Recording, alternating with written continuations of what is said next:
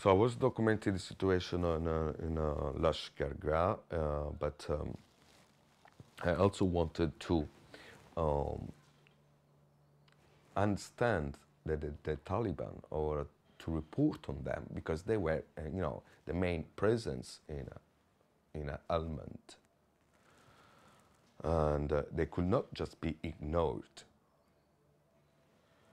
So I wanted to report on them, also, you know, on the Taliban about the Taliban issue.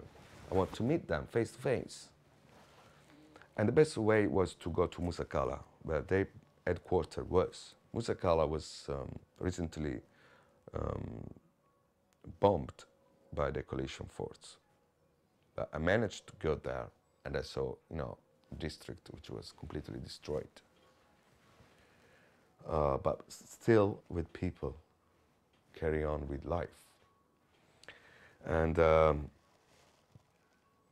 and I met the Taliban and um, actually they took me around as well to see some places.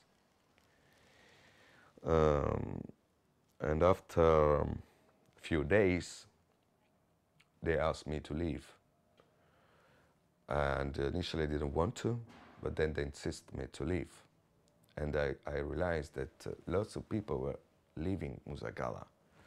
In fact, there was another air bombardment going on. And uh, so I left uh, uh. I did have lots of photographs with me, lots of material that I wanted to edit. Uh, also because I was the only uh, journalist at that time able to visit Musakala. Um, but uh, I didn't have any internet access to send the pictures from Lashkar Gah. The only place available was from uh, um, the, an NGO, but uh, this NGO didn't want me to use their internet connection to send those pictures. So instead, they suggest me to take a bus and go to Kabul. I mm, appreciate their suggestion, but uh, I prefer to travel on my own with um, local taxi because uh, you know with local taxi you there is no scheduled time. You travel when the the taxi is full. They insisted on taking this uh, bus. They said it's a new bus service. You go straight to take straight to Kabul you don't have to worry about anything. It's comfortable. And um, they were insisting so much that they booked even a ticket for me. They were saying, you know, if you don't book the ticket the day before, you cannot travel. It's always full up. And uh, I trusted them. I say, okay, let's book the ticket. They booked the ticket for me, and this uh, ticket was written the time, exactly time I was leaving, and the, the seat I was, I was supposed to sit. Uh, anyway, I take this bus. I sit where I'm supposed to sit. We leave Lashkar Gah. We've been stopped a few times by security. They were checking the traveling document of the driver. And then suddenly the bus was stopped again. I thought it was another con police control, but it was not. There were five armed, armed people that surrounded the bus.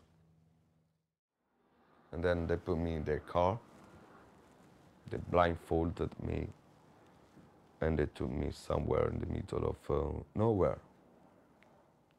Unusual things is that uh, they didn't ask for my documents. They didn't take my passport. because they didn't need to prove anything. They knew who I was. And then, uh, you know, initially they say they were um, the Taliban. Then I was very surprised. I said, how comes you are the Taliban? If I've been to the headquarters, I spoke with some of them, and they allowed me to stay in the region. During the, um, the period I was kept in this uh, dark room uh, and uh, you know in several occasions they they uh, they told me that they were going to kill me you know they used to, used to blindfold me taking me out in the middle of the night uh, uh, putting the Kalashnikov near my hair and uh, loading it, um, treating to, to, you know, to, to, to, kill me many, many, many times. Uh, but I, I, always tried to keep calm, calm. And uh, the, the only way to, uh, to, to do so was to avoid the uh, emotion to take over me. So as soon as as soon as I was uh, averting an emotion, I tried to stop it, not to block it, and uh, to compress it and to to hold inside inside my body, and uh, not to let it to spread over over the body and my mind. So I was just stopping it, um, and uh,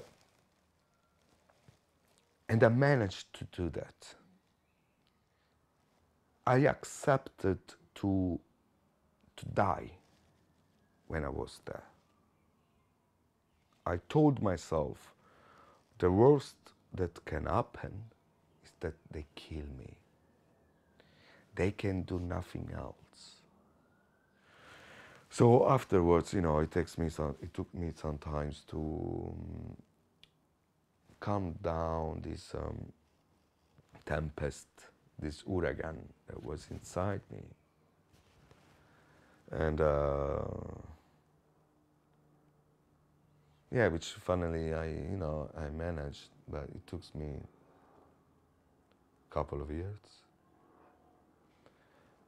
And uh, on top of that, to understand what happened really with my kidnapping. Because when we don't know things,